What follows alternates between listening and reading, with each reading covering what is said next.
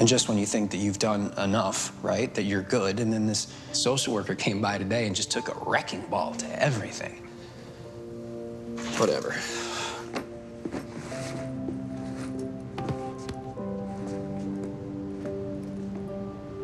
I have dedicated my life to the Navy, and I am proud of the career I've had.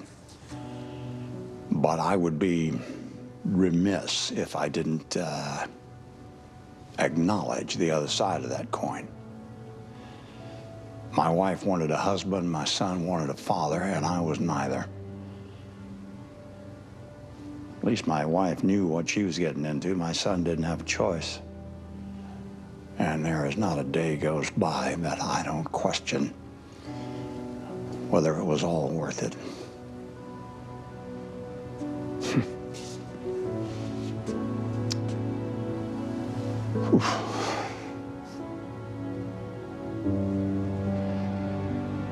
If only the process for biological parents were half as stringent as what you and Agent Blye are going through,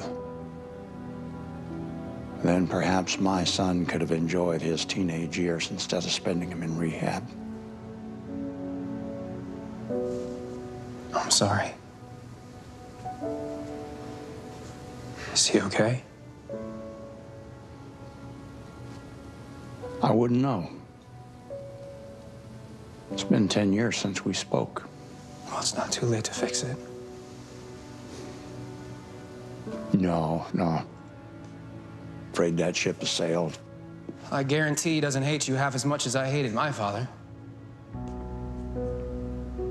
I mean, I shot the guy. In all fairness, he was pointing a gun at my mother and I, and I was 11 years old, but I still shot him. And then I stopped talking to him. And now he's dead.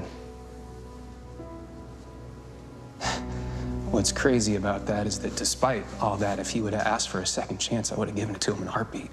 You know, just to see, as hopeless as it may have been, just to see if there was any way to salvage that relationship. My point is, I think he should call him. Like it or not, you're still his father.